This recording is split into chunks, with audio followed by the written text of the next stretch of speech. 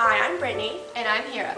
and today we're going to be teaching you about ear cytologies and ear infections. But first, let's learn about the anatomy of the ear. The ear is an organ that enables hearing and helps maintain balance.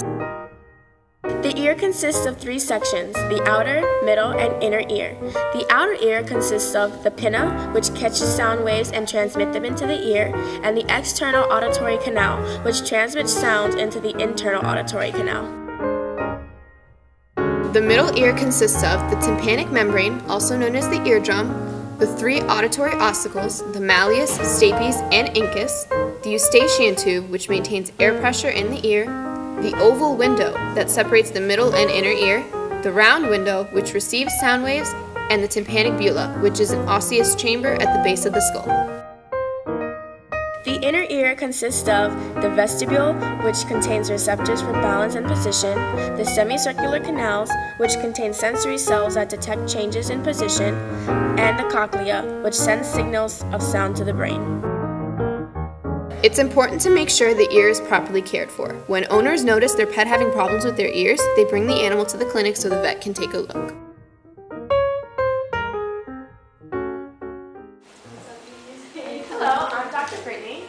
And I'm Dr. Hira. What seems to be with Buddy today? Well, he just keeps shaking his head a lot and pawing at his ears and whining, so I wanted to see what's wrong. I think he might have an ear infection. We're going to perform an ear cytology to find out.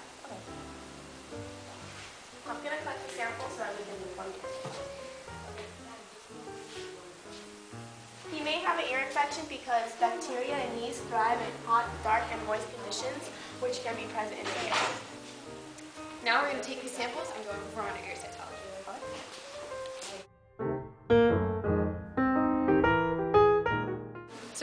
Ear cytology, you need Q-tips, a slide with a clip attached to it, a blow dryer, immersion oil, a microscope, and Diff-Quik, which is the stain. These are the samples that we obtained from our patient, one from the right ear and one from the left ear. I'm going to take the sample from the right ear and roll it onto the right side of the slide. We roll to preserve microorganisms.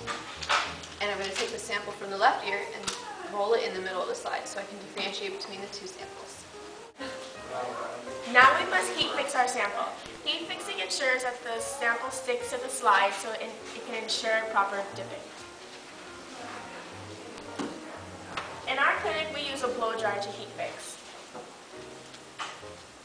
Quickly pass the blow dryer under the slide for 10 seconds.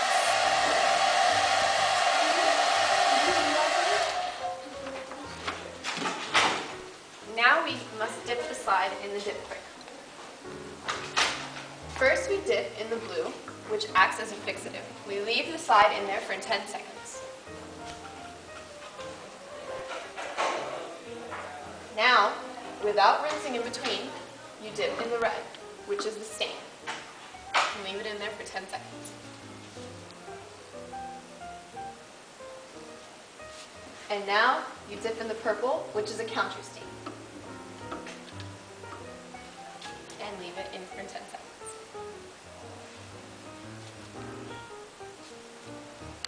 Now that we are finished dipping, we can rinse the slide.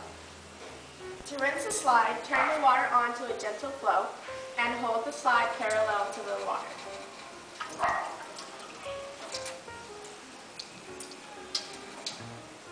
Now we're ready to put it under the microscope. Put the slide onto the microscope, lock it in place, and add a drop of immersion oil.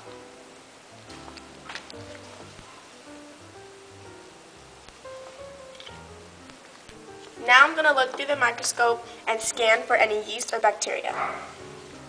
Yeast and bacteria can come in, this, in the shape of a snowman or a peanut for yeast, and bacteria can come in two shapes.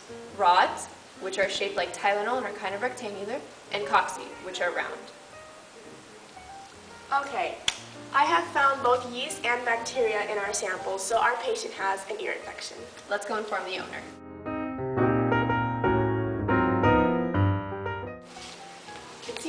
Buddy has a small ear infection. We can prescribe drugs like Panalog or Otomax, but we're going to give him Mometamax, which is instilled in the ear once a day. Alright, thank you. Is there any other way that I can prevent ear infection on the other animals?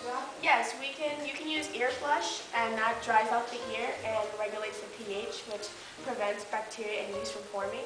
And for hairier dogs, you can also do an ear pluck, which when you use hemostats and pull out the excess hair from the ear.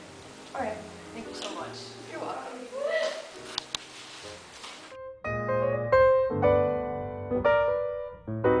Luckily, we were able to catch Buddy's infection, but ear infections that go untreated can be painful. The ears swell and it's extremely uncomfortable for the animals. That's why it's important to always inform the owner on what they can do to make sure their animals are happy and healthy.